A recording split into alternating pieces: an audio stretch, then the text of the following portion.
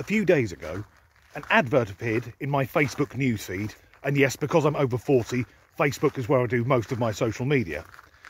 An advert for a product which I had no idea existed, nor could I understand why any sane person would consider buying.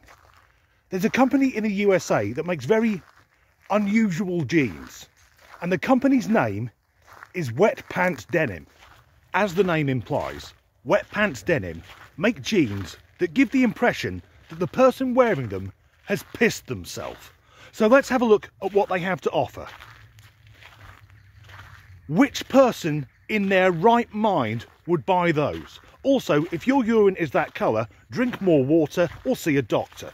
The blurb on the company's website says that its jeans provide the look of urinary incontinence without the discomfort, adding that there's a growing wet pants movement. It then uses these photos of various male celebrities, and I've not looked into the authenticity of these photos because there are some things I won't fucking Google.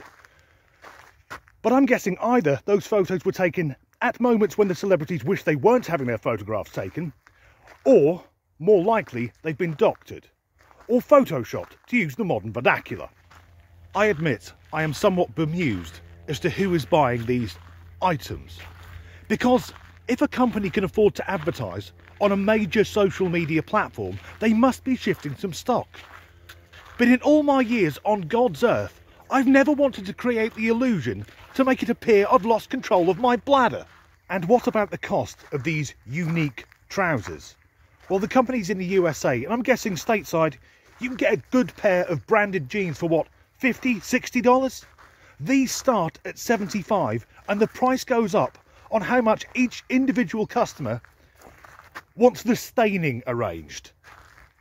That's a sentence that makes me want to go home and wash myself with bleach and a wire brush. I have no idea what this fashion statement is meant to be saying. Nor have I met anyone trying to make such a statement, and I fucking hope it stays that way. On the website though, Wet Pants Denim also say they manufacture hats, but I didn't click the link because I was afraid I would view something I'd be unable to unsee. What a time to be alive, as ever. Thanks for watching.